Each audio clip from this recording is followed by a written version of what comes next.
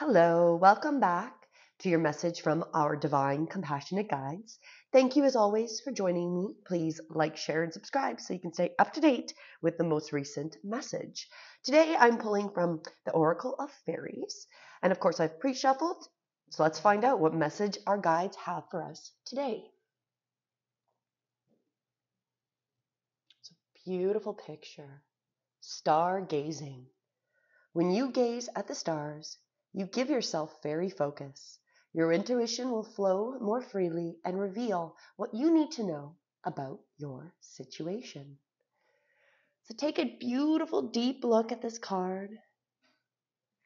Allow the exhale to release any previous thoughts, sensations, and observations.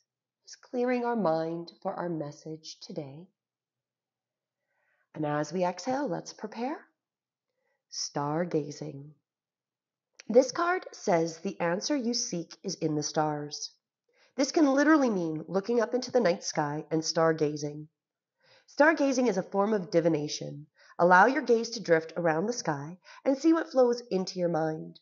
Fairies can be very active when the stars begin to appear and shine upon their surroundings.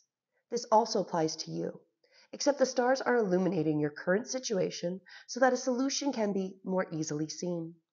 Stargazing can bring about a deep sense of peace and can also help you to put things into perspective. Look how tiny the stars appear to be. Yet this is only an illusion. Conversely, perhaps something in your life appears to be bigger than it, than it is in reality. Do you have an interest in astronomy? If not, this card may be saying it's time to explore this area. The insight you seek may also be found in astrology. This card may be in a daily horoscope, or it could be the perfect time to have your birth chart created by a professional so that you can see the energy currents at play in your life.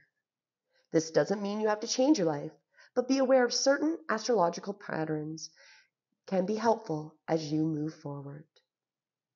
That's a great message. I highly suggest what the cards suggest. If you've never had your astrological chart pulled, definitely do it. It is amazing to find out so much about yourself just based on the alignment of planets when you were born. It is very powerful.